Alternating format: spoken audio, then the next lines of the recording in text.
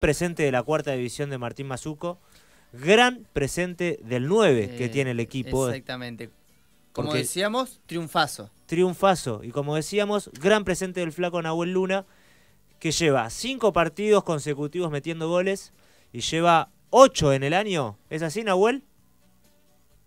Hola, ¿todo bien, Marlo? ¿Todo bien? ¿Ocho goles en 2016 llevas? En lo que es Ocho goles en cuarta. ocho goles en cuarta, claro. Y, y en Copa Campeonato venís con siete en seis partidos. Sí, siete en seis partidos. Siete en seis partidos. Eh, y la verdad que, que Nahuel, un rival difícil, Vélez, eh, y que la cuarta, como siempre, el plantel es un plantel que va variando, se van alternando jugadores, saben que en cualquier momento pasan a jugar en reserva o incluso en primera división, y sin embargo eh, es un grupo que siempre es protagonista. Sí, la verdad que fue un partido muy duro, difícil, muy estratégico dentro de la cancha y era un error, el que se equivocaba pagaba y bueno, supimos aguantar, ahí ellos también tenían la pelota, nosotros también tenían la pelota y se fueron dando el espacio y pudimos darlo vuelta, ¿no? Creo que el empate el primer tiempo estaba bien, un 0 a 0, 1 a 1 estaba bien. Después de un tiempo sí creo que fuimos más nosotros y después mereció la victoria. Nahuel, ¿cómo te sentís con acompañado con un delantero de características similares como es Francisco Paulaza? Sí, la verdad que me siento muy cómodo porque no tengo que luchar tanto yo solo, ¿entendés? Quedarme con él me ayuda mucho. Aparte, como yo dije, es más fácil jugar con uno que tiene características porque yo sé lo que a mí me gusta y sé lo que a él también le gusta. Entonces, sé cómo te a dar las pelotas, sé cómo se la tengo que bajar, o si, si cala la espalda, cuando, cuando la va a aguantar, cuando no, entonces, mucho más fácil, hay mucha más conexión. Y Flaco, me imagino que de alguna manera eh, lo que sucede con esta cuarta división se ilusionan porque le van ganando equipos importantes, porque están en los puestos de vanguardia, pero a la vez muchos de ustedes eh, tienen la ilusión de, empezar a jugar eh, o tener ya eh, un lugar fijo en, en la reserva y también empezar a estar en la primera división. A vos ya te ha tocado debutar en primera división con el entrenador que está actualmente. Eh, ¿Cómo lo viven a eso? ¿Ansiosos? ¿Tranquilos? ¿Saben que ya va a llegar el momento? En, en tu caso particular.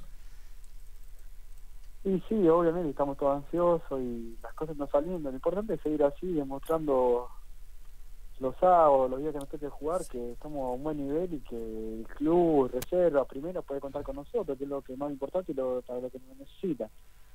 Flaco, este Y puede... ojalá- Sí, No, ojalá se dé, sería lindo que los que estamos jugando ahora, yo en seis, jugamos en reserva y, algunos tengan la chance de jugar en primera, obvio. Flaco, este va a poder llegar a ser uno de los últimos años que va a compartir, van a compartir los 96 todos juntos. Eh, se va a desmantelar seguramente en lo que va este 2016, se va a ir desmantelando el, el equipo, pero por ejemplo ayer eh, hubo varios chicos, como el caso tuyo, el caso de, de Chucky Talpone, que, que han tenido la posibilidad de jugar en primera y haber estado habitualmente en reserva. Eh, les ha tocado jugar en cuarta. ¿Se ilusionan ustedes como una manera de cerrar una etapa en juveniles? Eh, ¿Tienen ganas de, coronarlo con un título? Quizás dejando de lado lo que es un poquito reserva y, darse un, un trofeo personal a, nivel grupal. Sí, obvio, obvio que.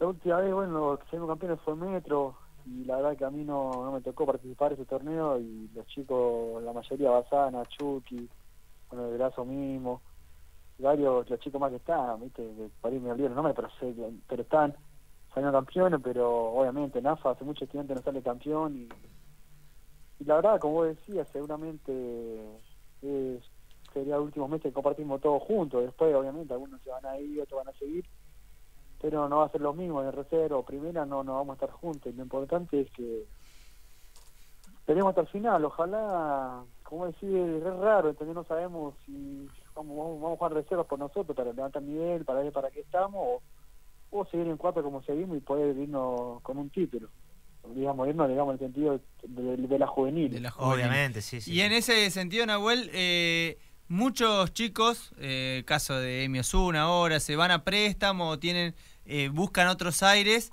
y, y después con el objetivo de, regresar al club. En tu caso, preferís quedarte en estudiantes, hacer eh, el paso este que te va, probablemente, si continúas con la misma sintonía goleadora, vas a empezar a jugar eh, en reserva y por qué no en primera y soñar con llegar a ser el 9 de la primera de estudiantes haciendo todo el, paso en el club o te gustaría también tener la posibilidad de, emigrar a otra institución y, jugar unos minutos eh, en otro equipo? Y sí, también eh, es que hay que esperar, esto es así, es fuerte así, no sabe hasta el último momento qué decisión tomar o cuál es la solución. Lo importante es que uno esté bien, donde que jugar esté bien. Yo ahora estoy bien acá y si me toca ir a otro lado, ojalá siga bien y si no sigo acá, tengo que seguir estando bien. Pero tú, obviamente, me encantaría seguir siempre en estudiante, siempre, o sea, obviamente acá todos los pasos, llegar a la primera, ser el nuevo titular, disfrutar la primera estudiante y, ser referente, o sea, digamos, dejar algo al club, que es lo que, por todo lo que me dio, ¿no? Está muy bien. Pero no, tampoco vería mal alguna salida buena a préstamo. Claro, para... Necesito Fobiá, necesito roce de, con de primera, para mí. Te, te serviría y, a esta edad obviamente sería, sería importante, pero eh, estás muy tranquilo también estudiante, sabes que te estás confiado, sabes que te va a tocar la oportunidad y, que si seguís haciendo las cosas bien como las venías haciendo estos últimos años, eh, tarde o temprano eh, esa chance se te va a dar porque aparte eh, sabemos que, que, el entrenador tiene buena consideración y buenas referencias tuyas, que eso no es poca cosa. Sí, obvio, pues, como te decía recién, yo, decía, que siga haciendo las cosas bien y seguramente, ojalá, ojalá que tenga alguna oportunidad y que, bueno, va a bien y si no, bueno, hay que seguir y si no da es por un tema de lugar o esas cosas y tenemos que, salir, y otra cosa y después volver también, no me pasaría nada, pero tengo que seguir así, que es lo importante. Bueno, te agradecemos Nahuel por el contacto, el mayor de los éxitos para lo que sigue y continuamos en, en contacto como siempre.